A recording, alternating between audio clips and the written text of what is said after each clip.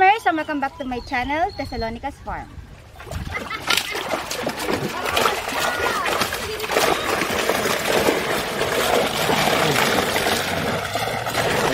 Ang galing.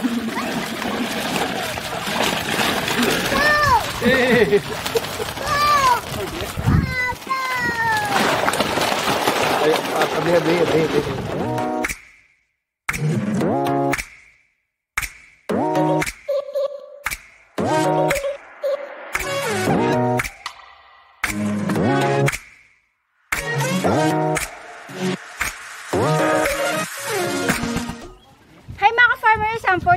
video, so napakaganda ng vlog natin na ito mga ka-farmers dahil ngayong araw mga ka-farmers ay mag-harvest tayo ng isang area dito sa aking fish pond. Ayan. So ito yung ating i-harvest mga ka-farmers, itong area na yan.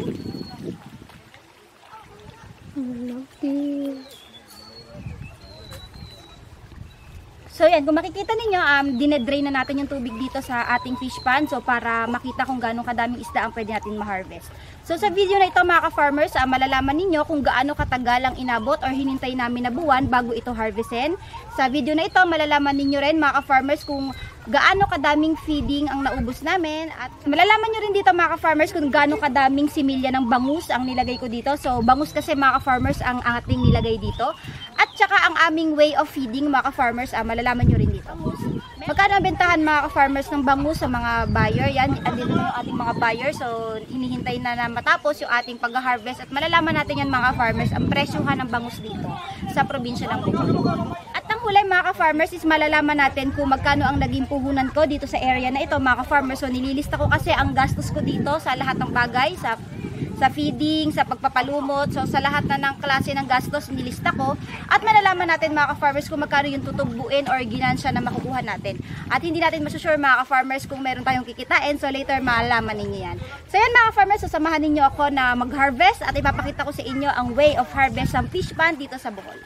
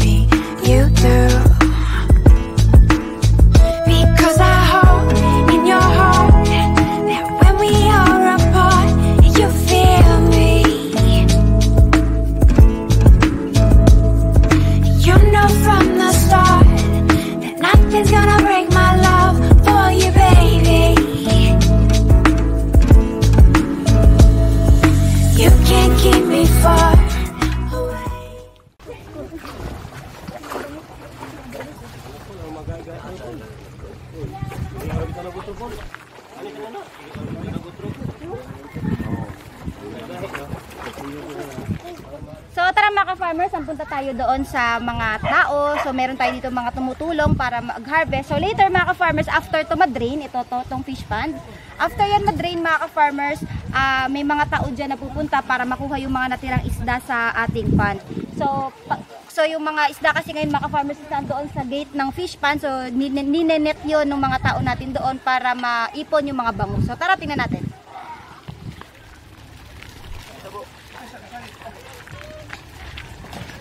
So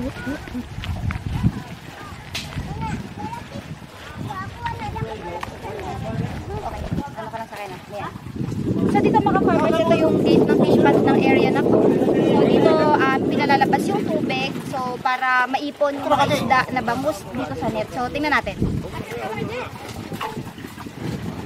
So po tayo. so ayan, mabakita ninyo yan si kuya. Siya yung ano, si, siya yung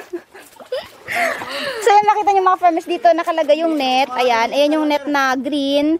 Tapos yan yung sumasala sa isda mga ka-farmers. So pag lumabas yung tubig kasabay yung mga isda, yung mga bangus. Tapos si kuya yung um, si Kuya Ar- Arnold yung nagsasala para makuha yun yun yung makita niyo yung mga bangus. So yung nagsasala para ilagay doon sa foam. So eto na ganito ng kadami yung na-harvest. Ayan mga farmers, ito na yung mga naka-ready na cooler ng mga buyers natin. So later, pakita ko sa inyo kung gaano kadami kasi ngayon. Ayan, tingnan mo nagliliparan. Nakadami. Nagliliparan nga. Ayan, ano mo lang, kaya mo lumipad. So yan, makita ninyo, nag-flying bangus yung mga isda natin.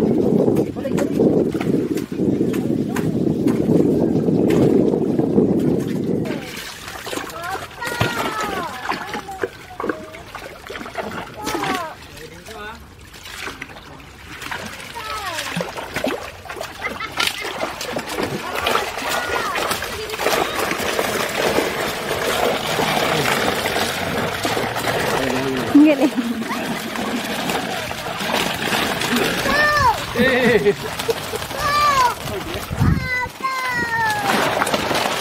Ay, ah, tabi, tabi, tabi, tabi.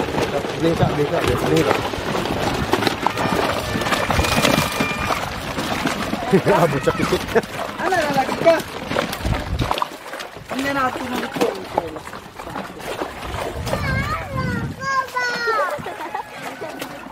lalaki ka? Hindi natin ng ito. Hindi lalaki ng kauman. Tama na. Dong, wala dong na naikuan dong. Dong na ito. Basta lang. Kuan jis dia. Yay! Ang robot. Oh dia ikaw. Bago man ako mo nito kag may tumay dito. May tiki ka to. Fine. Ito. May tiki ka to daghan.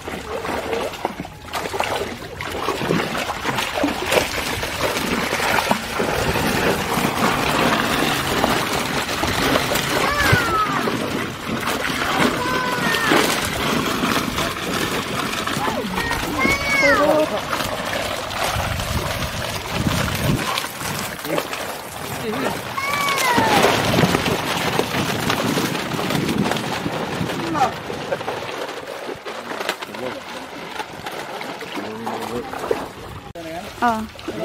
Iba yung lam. Yung farmer. Ah, makita ito now.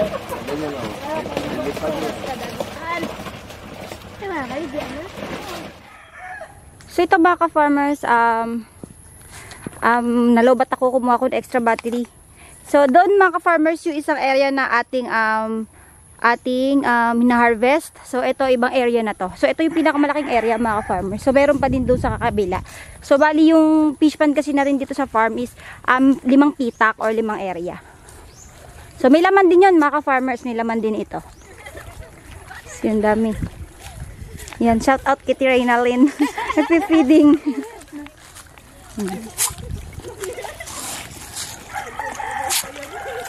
Makita isda. Oh.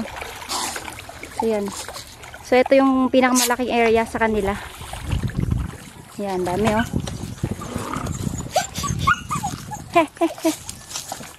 so, ito. Habang naghihintay mag-harvest, nag, nag-ihaw ng bangus. Free, free ulam. Yan. So, nag, nag, siya, siya, siya. siya yung nag-ihaw. so, yan. ah, hindi pa tapos mag-harvest. So, ganun pa rin. Opo. Ayan. So, makita ninyo yung ating um, fish pond o drain na. Ayan, nag-drain na. Um, ngayon, makita ninyo yung mga tao. So, bumaba na sa fish pond, mga farmers. Ayan na yung mga tao. Dahil, marami pa dyan mga tirang um, bangus, mga tilapia na hindi na na-drain or hindi na pumunta dun sa gate ng ating pond, fish pond. So, kailangan ito manumanuhin mga farmers So, kuhanin yung mga isda ng mga tao. So, ito mga ito mga farmers is makakatanggap naman sila ng mga libreng isda. Ayan. So, sa pagtulong nila, magkaroon na rin sila ng libreng ulam para ngayong araw hanggang sa susunod or sa susunod pa. Ayan.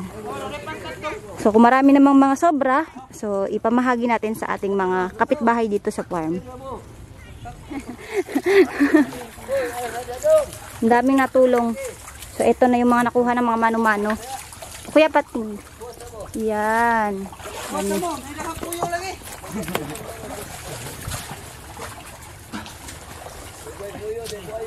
Ano to? Ugasan ba to? Ugasan mo yan, kuya? Ah, ugasan ni Kuya Arnold. So, may halo na mga farmers na tilapia siguro. Ah, bangus din. Ah, bangus lahat mga farmers makita niyo. Yan, bangus.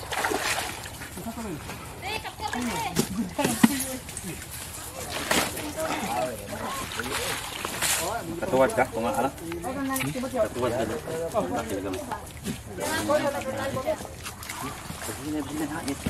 Lawam diri, yan lang.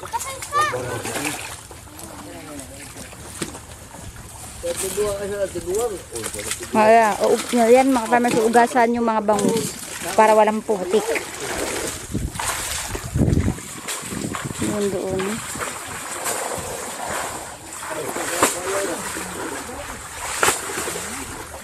Tago si Arnold. kuya, kuya!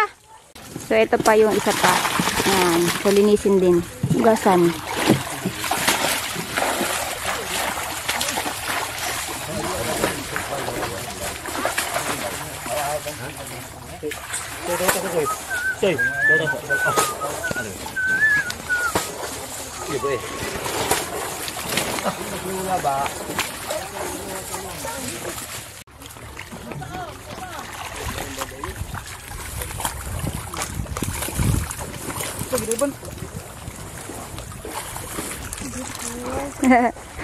Tinatalon. So, ito mamaya tatanungin natin si Kuya Hermie. So, yan yung caretaker dito sa area na hinarvest natin. Yan si Hermie. So, mamaya itanong natin sa kanya lahat ng mga details or kailangan nating malaman about dito sa ating fish pond na hinarvest. Nani bangos?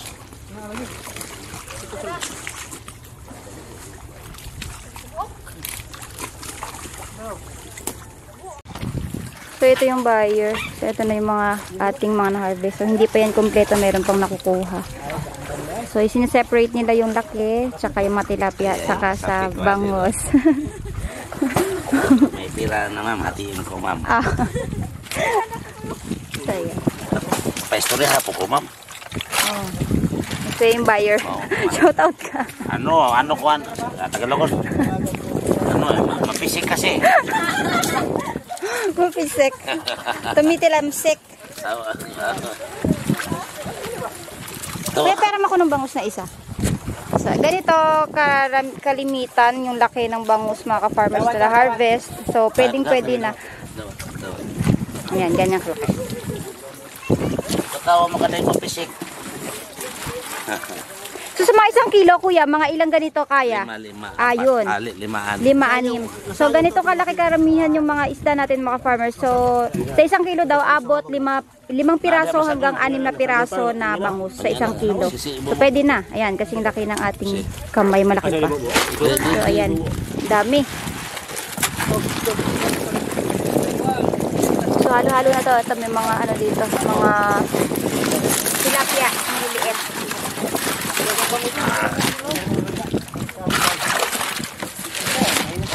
Ad, ad, ano ibutang mo sa? Ano ibutang? So ito mga farmers, um, nisi-separate na yung mga sizes ng laki ng bangus. So, tas kinikilo na siya. So, later malaman natin kung ilang kilo lahat ay nabot ng mga bangus. Yan. Pumpulog. Tanang po man yun. Isod sa isod. Ay! Para tilapia ila ila.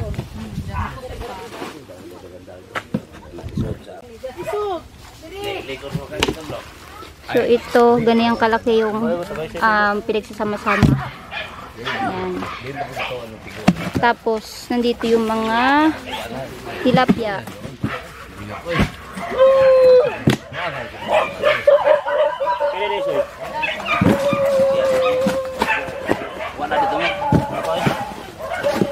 Ito ba? Bawa na. Ayo, apa na napili? Eh, eh, ilang na pili. Tanan niya. Tiyato na niya. Doon lang Ay, ay, may pa akong dumas dito.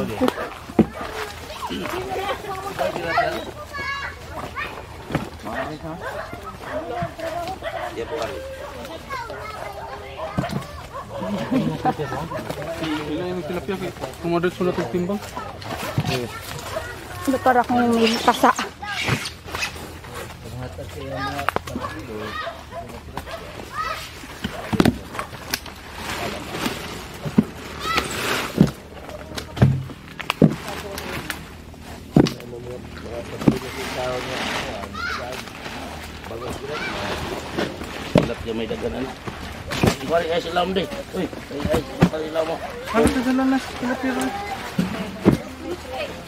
Kuya, nakakarami na ba? Wala pa. Kilo.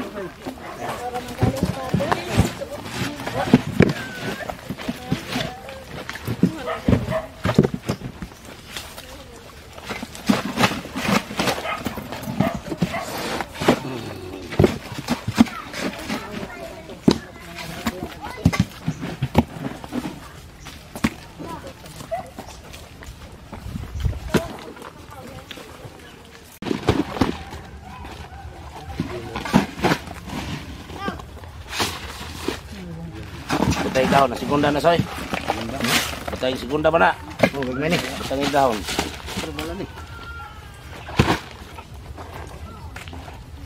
Wala dito ni.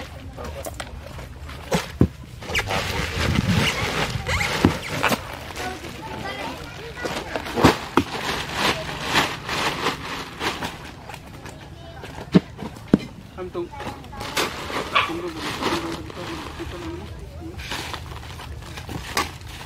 Jadi mo na, mo na.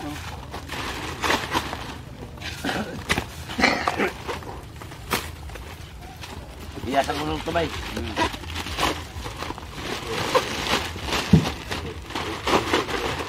Ano plastic dog?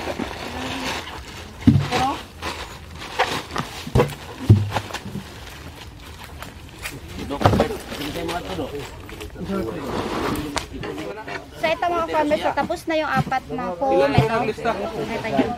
So ito mga farmers, um, ano yan, ang per pom is 35 kilos daw. So 35, 35, 70, so 140 kilos na. Ayan. So ito pala yung una natin na nakikilos. Eh, So meron na tayong um, 140 kilos. So marami pa doon at update ako sa inyo kung ilang kilo lahat ang aabotin.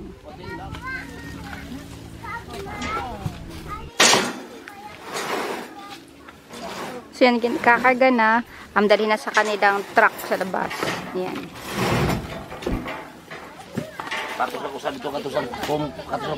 So ito yung buyer. So iniintay, iniintay nila yung ah, so may naghihintay sa labas mga farmers service nila. Ayan. So ito tangkal natin yan, inahatid sa labas.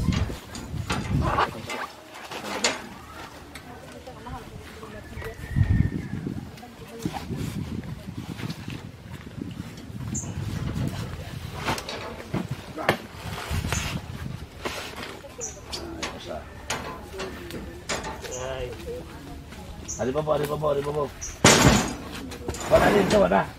Ato ka, uban na rin, ato ka bantay. Truck. Ay. Ako ang turun. Kukwasa ka, kukwasa. Ay, sumpong.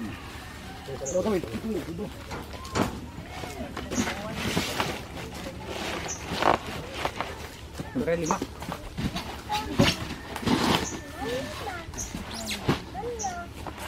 Ang unom. Na may motor. Sige.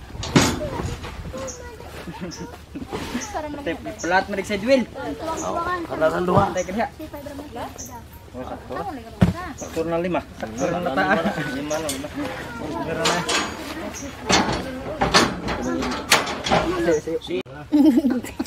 Dagko, dagko. Pero so tingan usa kay nganan sa 300 linaw. 35. 35.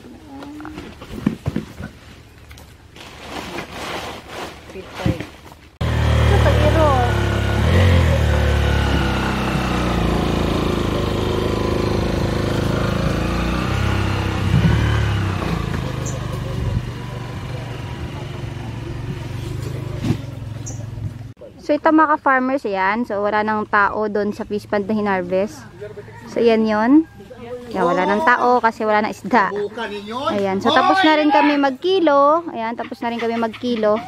Um, nakuha na rin lahat ng mga buyer yung um, foams, kung ilang piraso, kung ilang pirasong foam yung napuno. So pakita ko sa inyo later sa lista. Tapos meron tayong Ayan. Um, sinor, ni-reserve na dalawang foam, um, isang foam na bangus, saka isang foam na tilapia. So, pamigay ko to sa mga ka- relatives dito sa Bohol, relatives namin dito.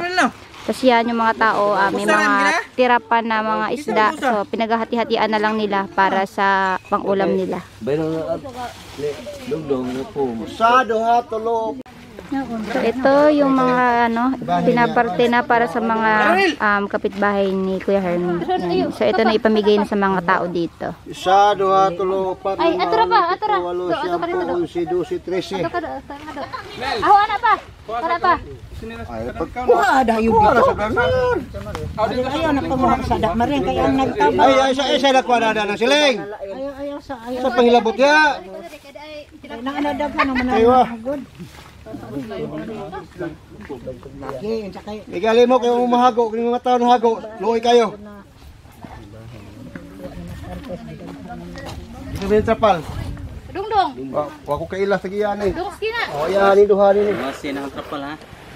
Hi mga ka-farmer! So, yun po yung ating naging um, pag-harvest sa isang area natin dito sa aking farm. So, ayun yung aking hinarvest. So, doon banda sa may dulo. Ayan. So, ito mga ka-farmers, hindi pa ito naka-harvest sa baba banda. So, ito na sa akin mga ka-farmers yung mga details kung magkano yung ating um, gastos at kung magkano yung um, kinita natin sa harvest sa bangus at saka kung magkano yung ating kinita or kung meron ba tayong kinitang tubo. So, gusto ko sana mga farmers na um, in, kausapin si Kuya Hermie, yung nagbabantay sa yung nagbabantay mga ka-farmers dito sa aking fish pond na hinarvest last time. Kaso nahihiya mga ka-farmers kasi hindi siya masyadong ma-diretso magtagalog. Ayan, kaya um, tinanong ko na lang siya, tsaka, kaya tinanong ko na siya mga ka-farmers, so ako na lang ang magsasabi sa inyo. So ito mga ka-farmers, so naglista ako, nilista ko yung mga um, detalye about sa ating um, harvest. Um, so nakapag-harvest tayo mga ka-farmers ng um, 324 kilos ng ating um, bangus. Ayan, so um, so mga sampung foam yata yung mga ka-farmers yung napuno ng bangus. At so yung presyo ng bangus mga ka-farmers dito sa Bohol kasi pagka may fish pond na mag-harvest, so yung mga buyer na yung pumupunta sa mga fish pond para bilihin yung isda. So, ang bili nila sa akin, mga farmers is 90 pesos per kilo. So, yung ganung kalalaking bangus, yan. So, kaya naging total natin, mga farmers sa 324 um, kilos ng bangus is um, 29,160 pesos. Ayan. Tapos, may nakuha rin tayong tilapia, mga ka-farmers. Um, umabot rin, mga ka-farmers, ang tilapia natin sa 47 kilos. Ayan, so, binili ito ng 50 pesos per kilo, umabot rin ng 2,350 pesos.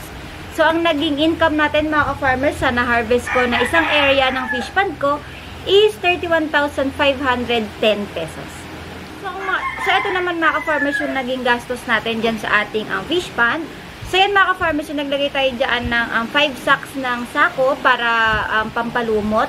So, ginagamit kasi yung um, fertilizer para makapagpalumot, makapagpatubo ng lumot sa fish pond. Para at the same time, meron din um, alternative feeds yung ating um, mga bangus.